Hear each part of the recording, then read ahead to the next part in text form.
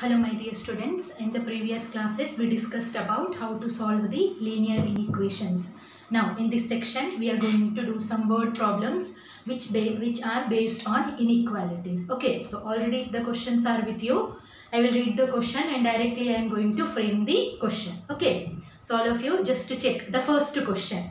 First question is find all pair of consecutive odd positive integers both of which are smaller than 18 such that their sum is more than 20.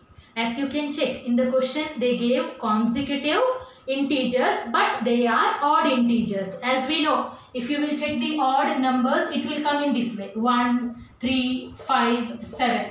Any odd number if you will take it will come in the difference of 2 there. Correct?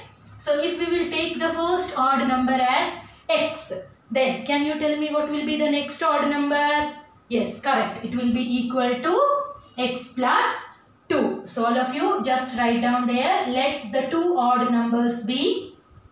Let the two odd numbers be x and x plus 2. Written? Okay. Now just to check the condition which is given in the question.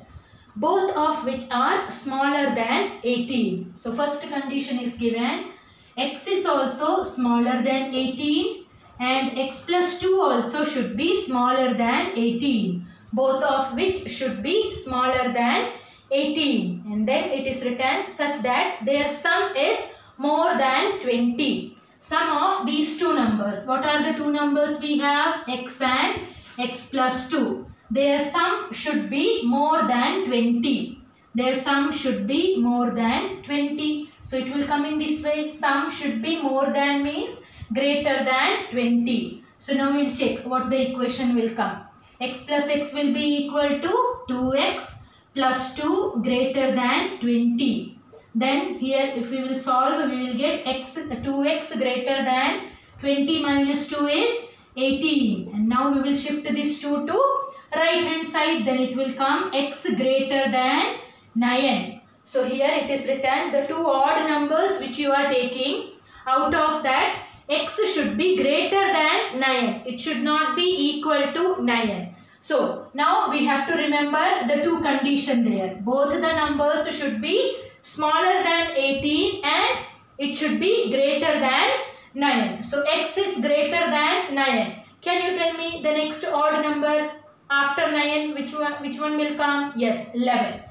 So first pair 11 and we have to write in pair there. 11 and 11 plus 2. So 11 comma 13. Just check whether their sum is greater than 20 or not.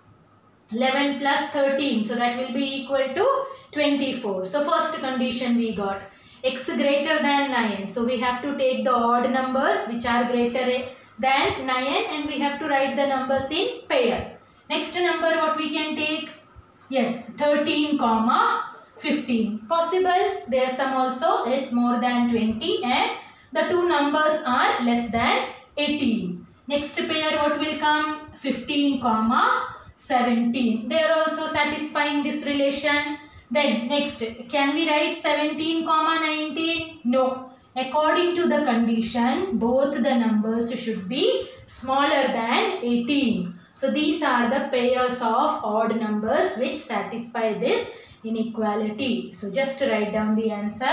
The odd numbers are 11 comma 13, 13 comma 15 and 15 comma 17. Is it clear how we have calculated the numbers? Okay. Now all of you just to check the next question. As you can check the questions are there with you. Question number 2. Question number 2 it is written find all pairs of consecutive even positive integers both of which are larger than 8. So first condition you can check even numbers we want. If you will check the even number, any even number if you will take. I am not saying that you take the first even number. 6, 8, 10, 12. In this way even numbers will come. And these even numbers also. What is the difference between these two numbers? Yes, 2. So again, if we have to take the even positive integers, consecutive, so we can write down, let the integers be, let the integers be x comma x plus 2. These are the two consecutive even positive integers we have taken. Now what is the condition given? Both of which are larger than 8. These two numbers should be greater than 8. So just write down there. x should be greater than 8 and x plus 2 also should be greater than 8. Then what is written such that their sum is less than 25 sum of these two numbers x plus x plus 2 should be less than 25. Now it will come 2x plus 2 less than 25. Now we can shift that 2 to right hand side then it will come 2x less than 25 minus 2. So that will come equal to 23. Then what will come x less than 23 by 2. 23 by 2 we can convert in decimal there. So it will come 2 ones are 1. Again 2 ones are 1. So it will come 11.5. So we have to take the consecutive integers which are greater than 8. Both the numbers should be greater than 8 and it should be smaller than 11.5. Okay. And their sum also should be less than 25. So can we check greater than 8. What is the next even number which we have greater than 8? Yes, 10. Correct? So what will come? First one will come 10 comma. What we can write? 10 comma 12. 10 comma 12. So whether they satisfy this one? X is less than 11.5. X should be smaller than 11.5 and both of which are larger than 8. Both the numbers should be greater than 8 and x is less than 11.5. So you might be thinking that this is uh, greater than 11.5 then how these numbers will come. Condition is x should be less than 11.5. Our x is this one. This is x plus 2. That can be greater but x the first number we have taken as x that number should be less than 11.5. So this is the only pair which will satisfy the given inequality. So just write down there the pair is 10 comma 12. Is it clear why I have taken that 12? According to the condition x should be smaller than 11.5. Our value of x is 10. 10 is smaller than 11.5. This 12 is x plus 2. So that's why we have taken this pair as our answer. So I hope this question is clear. Okay. Now all of you, you can check the third question. In third question, what is given? Ravi obtained 72 and 76 marks in the first unit test. Find the minimum mark he should get in the third test to, uh, to have an average of at least 60 marks. So first you should understand the meaning of at least 60. At least 60 marks. At least means minimum. Minimum 60 marks. So if I am saying in the examination minimum passing mark is 33.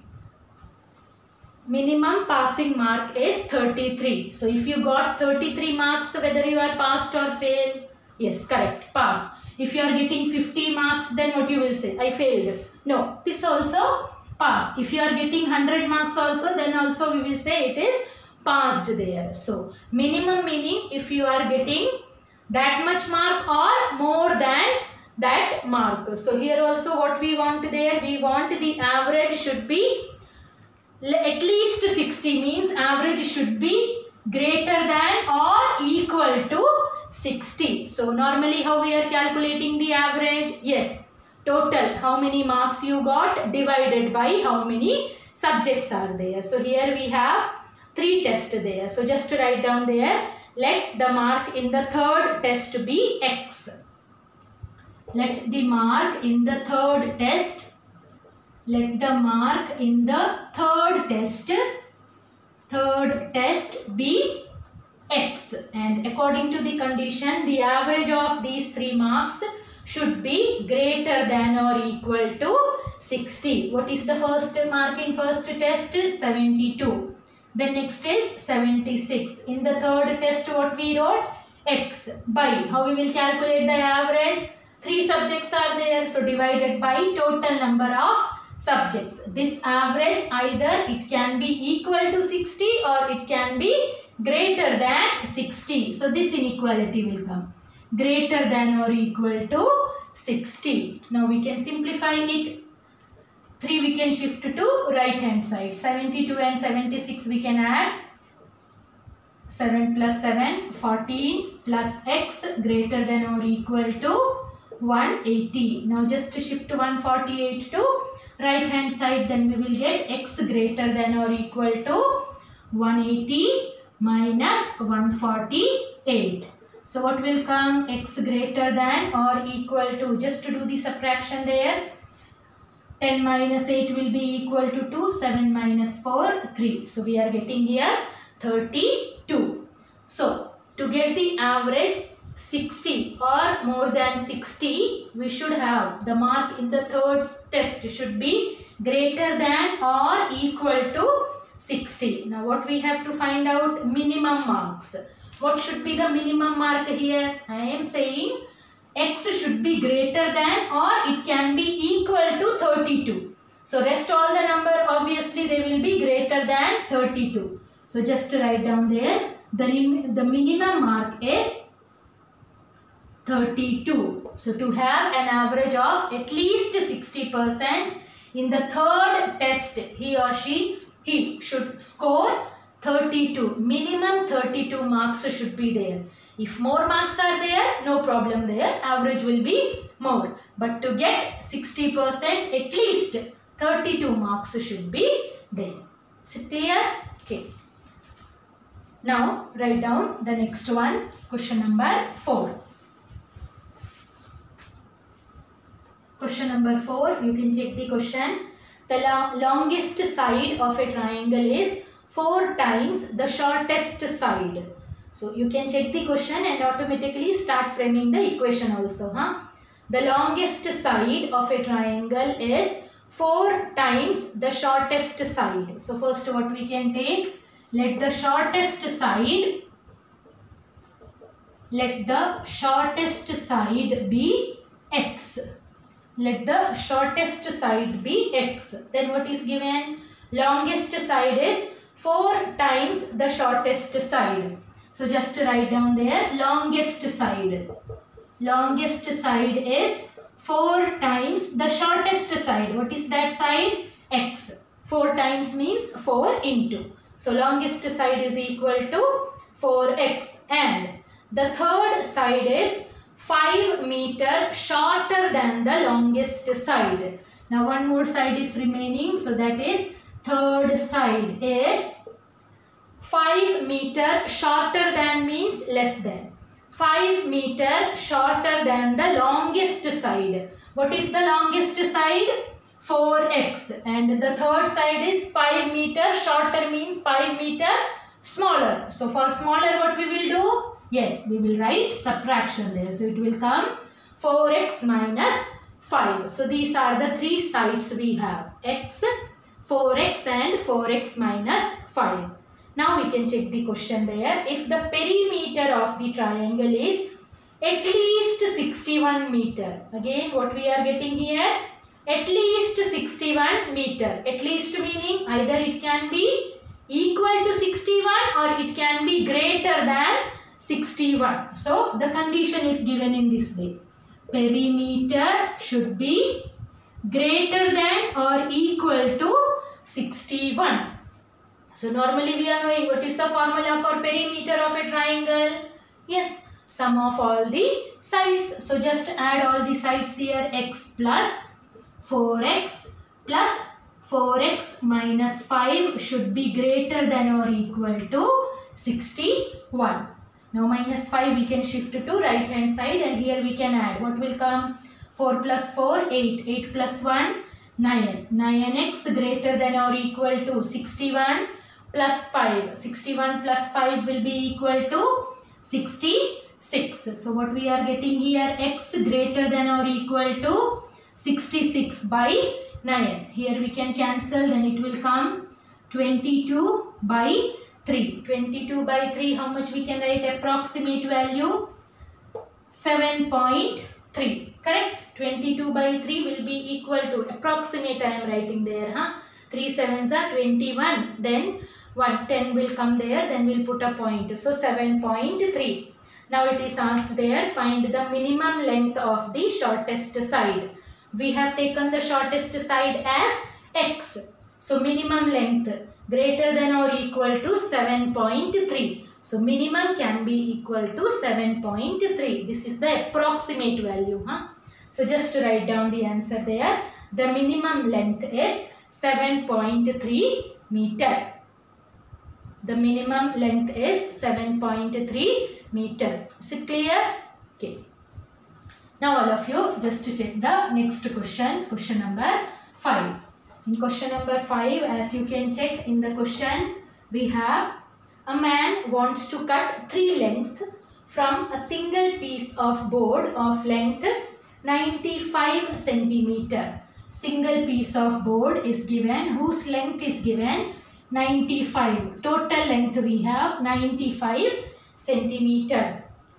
Now we have to divide in how many cut three length means we have to divide it into two parts only. So just to check there A, B, C, D. Now it is divided into three parts there. Now what is given? The second length is to be 3 centimeter longer than the shortest.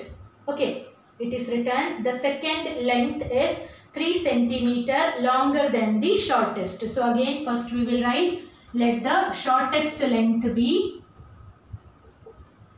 let the shortest length be x. Shortest length we have taken as x. Then it is given second length is to be 3 centimeter longer than the shortest. So just write down there second length. Second length is 3 centimeter longer than the shortest. So 3 centimeter longer means what we will do? x plus 3. And then it is asked what are the possible length of the shortest board if the third piece, the third piece is to be at least 5 centimeter longer than the second. The third piece, the third piece should be at least 5 centimeter longer than the second. 5 centimeter longer than the second means what will come? Third piece should be greater than or equal to 5 centimeter longer than the second one. What is the second length we have here? x plus 3. So third piece should be greater than or equal to x plus 3 plus 5. So these are the conditions given. Just to check the condition one, one more time. A man wants to cut three length from a single piece of board of length 95 centimeter. The second length is to be 3 centimeter longer than the shortest and the third length is to be twice as long as the shortest. So that condition also given. The third length is to be twice as long as the shortest. This condition is given. Third piece should be greater than or equal to 5 more than the second one. And one more condition is given. Third piece is twice the shortest one. So what will come the third piece? 2x. So here we can write 2x greater than or equal to x plus 8 or 2x minus x. So we will get x greater than or equal to 8. x greater than or equal to 8 means so many conditions are possible. Till where we will take the numbers there. Then from where we will get the limitation which we need there. How? Yes, what is the total length is given? 95 centimeters. So sum of all these, the sum is limited there. The sum of these three sides should be either 95 or should be less than 95. So just write down there x plus x plus 3 plus the third piece is 2x. It should be less than or equal to 95. Now you can check what will come x plus x. 2x plus 2x will be equal to 4x plus 3 less than or equal to 95 or 4x less than or equal to 95 minus 3 will be equal to 92. Then x less than or equal to 92 by 4. x less than or equal to 92 by 4. You can cancel here just to check. Uh, 4 2s are 8 and 4 3s are 12. So here it will come x less than or equal to 23. And what is asked there just to check. What are the possible length of the shortest board? Shortest board. So we wrote here x should be greater than or equal to 8 and x should be less than or equal to 23. So just write down there the third side should be greater than or equal to 8 and less than or equal to 23. So I hope these questions are clear to you. Okay. Now all of you just to check the next question. Next question is from your textbook. Uh, miscellaneous exercise. Some examples are there. So I am going to discuss that examples. So you can check the question. It is written in an experiment. A solution of hydrochloric acid is to be kept between 30 degrees Celsius and 35 degrees Celsius.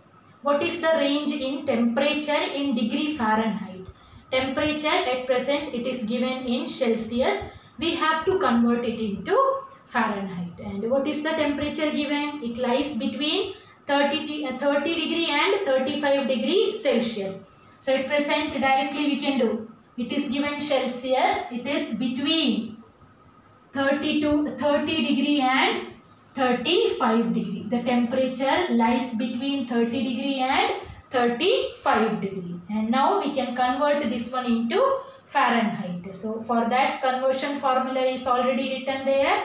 Now in place of C I am going to use that formula. Then here no change just write down there 30 degree less than 5 by 9 into F minus 32 less than 35 degree. Now what we will do, we will check the range of Fahrenheit there. So for that what we can do first, here we have 9 in the denominator. So it is better to remove that 9. So how we will remove that 9? Yes, we will multiply the whole in equation by 9. So it will come here 30 into 9. 9 into 0, 0, 9 3s are 27. Less than 5 into, when we will multiply here by 9, 9 and 9 will get cancelled. F minus 32. If you want, uh, if you will not multiply then also no problem there. Huh? You can write in this way. 30 into 9 less than 5 into f minus 32 less than 35 into 9. Now just to check what we can do now. Here in the left hand, here in the middle we want only Fahrenheit. No other numbers there. So first which one we have to remove now? Now we have to remove this 5. So for that what we will do? 5 is multiplied here. So to remove it what we can do? We can divide the whole equation by 5. So it will come 30 into 9 by 5 less than 5 into f minus 32 by 5 less than 35 into 9 by 5. So that's why I told you don't multiply. We can cancel it here. 5 6 are here 5 and 5 will get cancelled. 5 7s are 35. So we are getting here now 6 9s are 54 less than f minus 32 less than 7 9s are 63. Again we are calculating the range of temperature in degree Fahrenheit. So in the middle we want only Fahrenheit. We don't want this minus 32. So how we can remove that minus 32?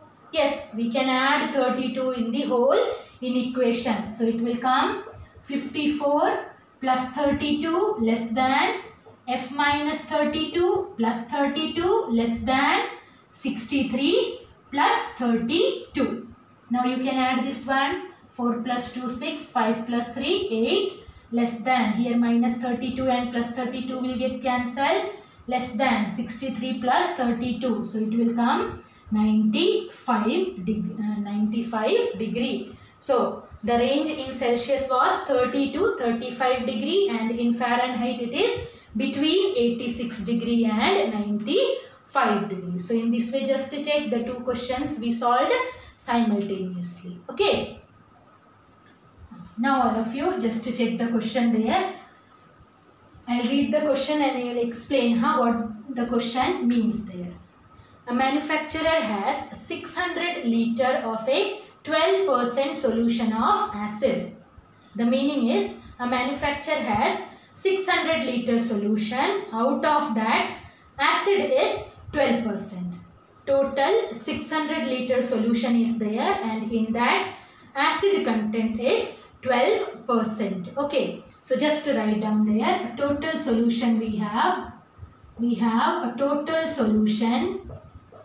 Total solution is equal to 600 liter. And how much acid content we have in the uh, solution?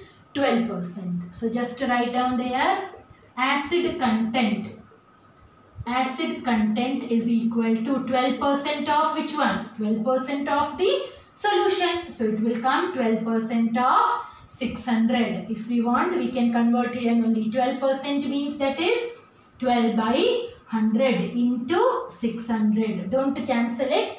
Afterwards, when we will write them together, then we can cancel. Okay. Now it is asked, how many liters of 30% acid solution must be added to it. Now we are adding some more solutions that is an acid solution some more solution in which 30% acid is there. Okay. We are adding some more solution. In that solution we have 30% acid content. So we will write in this way. Let x liter be added let x liter be added. Okay. What was the total solution we have here?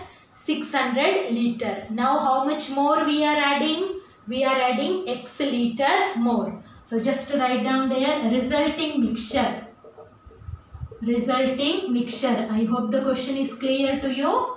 First we have 600 liter. In 600 liter the acid content was 12%. Now what we are doing? We are adding x liter. In that x liter we have 30% acid content. Okay, so our resulting mixture. First how much we have? 600 liter. How much more we are adding?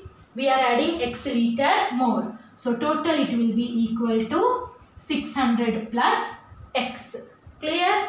Now we can check the acid content. What will be the acid content in the resulting mixture. First, how much acid content we have? 12% of 600.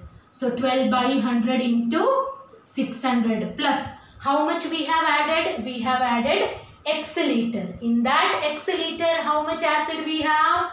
We have 30% acid in that. So, what will come? 30 percentage of x. The x liter which we are adding in that the acid content is 30 percentage. So 30 percentage of X. So just write down in this way only. Huh? 12 by 100 into 600 plus 30 by 100 into X. Now we can check the condition. What is given? Now it is asked how many liters of a 30% acid solution must be added to it so that the acid content, acid content already we wrote in the resulting mixture acid content in the resulting mixture will be more than 15%. More than 15%. This is the acid content in the resulting mixture. What is the resulting mixture? 600 plus X. So acid content in the resulting mixture should be more than 15%. 15% where? 15% in the resulting mixture. So just check the question there, huh? I am going to write down in statement there. They are saying acid content should be more than 15% in resulting mixture and less than 18% in resulting mixture. Now we are going to write down there. Huh? 15%. 15% means 15 by 100 into what is the resulting mixture we have? 600 plus x. So 15 by 100 into 600 plus x less than how much? in the resulting acid content already we wrote here 12 by 100 into 600 plus 30 by 100 into x less than 18% in the resulting mixture. So 18 by 100 into 600 plus x. So as you can check in all the denominators we have 100 there. That's why I told you don't cancel that 100 there. Now what we can do? We can multiply the whole equation by 100 because in this term we have here also, here also and here also we have 100. So multiplying it by 100. Then what will happen? That 100 will get cancelled. So remaining what are the things we are having?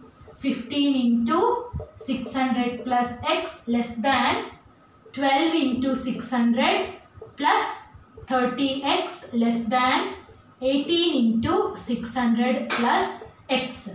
Now we will solve them separately there. So I am giving you the method how to solve it in a easy way there. So just don't do the multiplication, just write down in terms of multiplication. 15 into 600 plus 15x. I am solving this, this one first. Huh?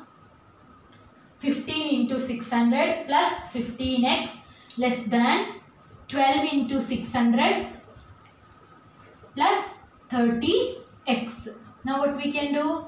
Yes, we can shift that 15x to right hand side and 12 into 600 to left hand side. Then it will come 15 into 600 minus 12 into 600 less than 30x minus 15x. Now it is easy. Instead of doing the multiplication, you can take 600 common there. So when we will take 600 common, what will come inside the bracket? 15 minus 12. And what is 15 minus 12? 3. Less than 30 minus 15 will be equal to 15x.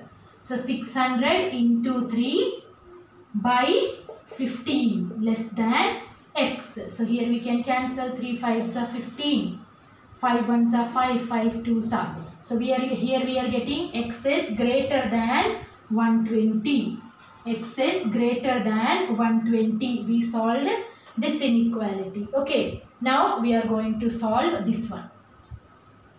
12 into 600 plus 30x. Just remember that one. Huh? Our value of x is greater than 120. Next we have 12 into 600 plus 30x. If you want you can do in normal way also. Huh? This I am explaining to make your calculation easy there. 18 into 600 plus 18x. Now we can shift this 18x to left hand side and 12 into 600 to right hand side. So it will come 30x minus 18x less than 18 into 600 minus 12 into 600. 30 minus 18 that will be equal to 12x less than. Again 600 we can take common. Inside the bracket it will come 18 minus 12 18 minus 12 is 6 now we can shift dash 12 to right hand side. So it will come 600 into 6 by 12 now we can cancel it. 6 2s are. And here it will come x less than 300 here what we are getting x is greater than 120. So you can write x in the middle. x is greater than 120 and x is less than 300. And since it is a word problem, write down the answer statement there. What is asked there? How many liters to be added? So just write down there. The resulting mixture should be more than 120 and less than 300. So I hope this question is clear to you. This is an important question, huh? Okay. Now all of you just to check the next question. The next question, have you read that question? Okay. So can you tell me what is the difference in the previous one and this question? So again I am reading the question for you. How many liters of water have to be added to 1125 liter of the 45% solution of acid so that the resulting mixture will contain more than 25% but less than 30% acid content there. Yes, how many liters of water will have to be added? In the previous one also we are adding some water there uh, but in that acid was also there. But here in this question, acid content is not there. We are adding only water. Okay. So first, how much? Uh, how many uh, liters we have? 1125 liters. Okay. So just to write down there. Total mixture or total solution is total solution is 1125 liter and how much is the acid content in the solution acid content is 45 percent 45 percent of 1125 so we can simplify it just write down in this way huh? 45 by 100 into 1125 now what we are doing we are adding some water in that so acid content will remain the same there. We are adding only water. So just write down there. Let x liter be added. Let x liter be added. So now can you tell me what will be the resulting mixture now? Yes. Just write down there. I am writing Rm for resulting mixture. Huh? Resulting mixture will be equal to 1125 plus x. Now we will write down what will be the acid content. So first our acid content is equal to 45% of 1125. Some more we added but we added only water. So acid content no change will come. So just write down there acid content is 45 by 100 into 1125. So now condition is given acid content in the resulting mixture should be more than 25%. So 25% in the resulting mixture less than acid content should be more than 25% and less than 30%. 30% in the resulting mixture. So now we'll simplify it. 25% means 25 by 100. What is the resulting mixture we have? 1125 plus x less than. Acid content is same. That is 45 by 100 into 1125. No change in that. Less than 30%. So 30 by 100 into 1125 plus x. Now again first what we can do we can multiply the whole equation by 100. So remaining it will be equal to 25 into 1125 plus x less than 45 into 1125 less than 30 into 1125 plus x. Now again we can simplify this one first. Okay, so I'm going to simplify it just to check what will come. Don't multiply, huh? 25 into 1125 plus 25x less than 45 into 1125. Now we can shift that expression to right hand side and then uh, combining one step also 1125 taken outside also.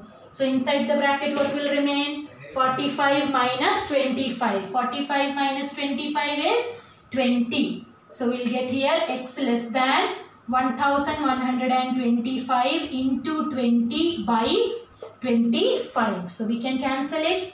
5 4s are 5 5s are. This one we can cancel. Here what will come there just to check. 5 2s are 10. Again 1 will come. 5 2s are 10. 5 5s are. Now just to multiply. Then it will come. 4 5s are 20. Carry over 2. 4 2s are 8 plus 2. 10. Carry over 1. 4 2s are 8 plus 1. 9. So we are getting here x less than 900. Now we can simplify these two inequations. So I am going to write down the inequation there. Just to check, huh? this one we got less than 900.